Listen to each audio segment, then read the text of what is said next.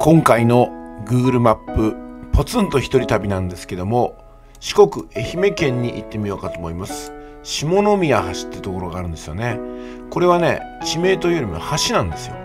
すごくね特徴的な橋なんで見ていただきたいと思いますけどもこの本土からこちらの畑に行くためだけの橋なんですね。ちょっとこちらの方に図が出てますんでクリックしてみます。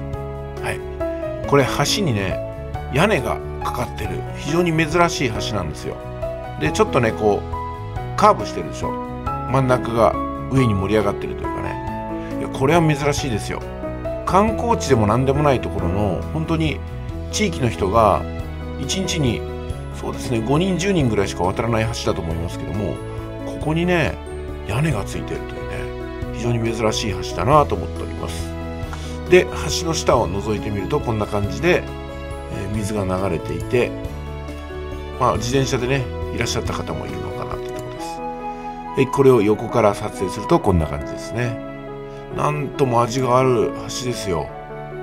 うん。祖谷の桂橋っていうのがね同じ四国にありますけどもああいう橋じゃなくてこう地域の人が生活のために作った橋にこう屋根がかかっているというね。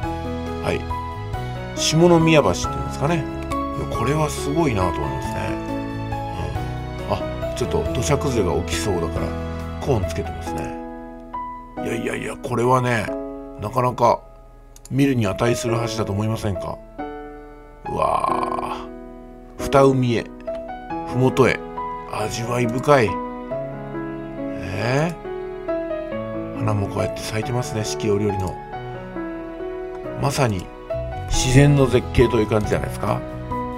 でもこんなところにもねあれですよアスファルトの道路とガードレールが引かれてる。すごいね。美しい景観建造物デデザイン賞そういうのがあるんですね。いやこれ美しいよね。なんかその橋マニアってわけではないんですけども記憶に残る橋だなと思いまして今日取り上げてみました。ああ絵になりますねこうやって車と一緒にね。私もナイトライダーとかねセルシオ君と一緒に撮りたいですね。いいなあ。とってもいい。はいそれでねこれは実は YouTube でも特集されてたんですよ。これ。ここにあるよっていうのでね。これ。この YouTube の動画 URL は下に置いときますんで動画概要欄からご覧ください、ね、これもなかなかいい。あこれいいですね。ほらここの集落からこちらからね、うん、渡るという。これなかなかいいね。地元の人に話を聞いてます。ああ橋の上でこうやってねお弁当広げたりしてたんだ。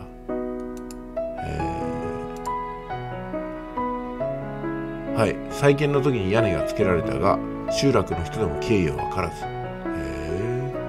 あ田丸橋っていうのもあるんだ。田丸橋ね。はい。で地域のねこうやって案内もしてるみたいなんでこれぜひね動画をご覧いただきたいです湯気神社。えー、ああすごい。これはすごい。えー、あこれ屋根付きの橋をこういうふうにまとめてくれてますね。これはいいですね。ここなんてすごい。うん。格調高いというかなんというか。はい。なんか珍しい動画になりましたね。今回は以上です。